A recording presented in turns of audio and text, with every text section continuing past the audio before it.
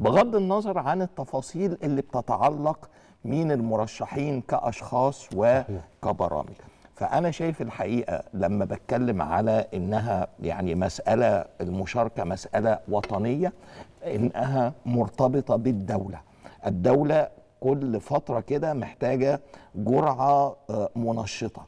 الانتخابات هي أحد هذه الجرعات المنشطة.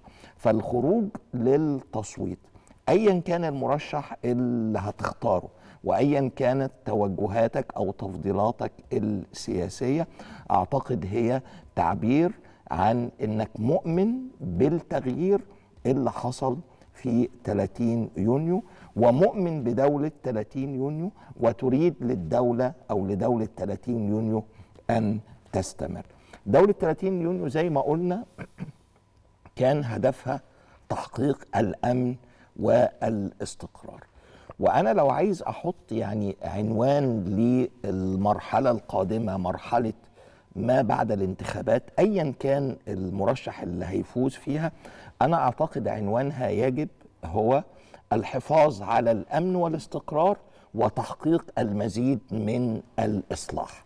الحفاظ على الأمن والاستقرار هدف أساسي وأنا أعتقد هدف كل المرشحين وهدف كل المصريين.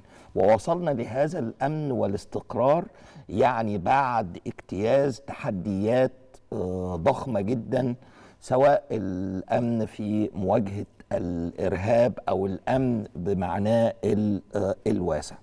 فبالتالي الحفاظ على الأمن اللي تحقق وده الحقيقة مش مبالغة يعني ده نعمة كبيرة جدا بتتمتع بيها مصر. أنا زرت العديد من الدول العربية اللي مرت بظروف قريبة من اللي مرت بيها مصر. ولكن للأسف يا إما يعني ما تزال في حالة عدم استقرار أو إنه التغيير اللي حصل فيها ايا كان دوافعه أدى إلى انهيار الدولة وفشل آه، الدولة. فمسألة الحفاظ على الأمن والاستقرار أعتقد هدف كل المرشحين وشيء يعني أو نعمة لابد أن نحافظ آه، عليها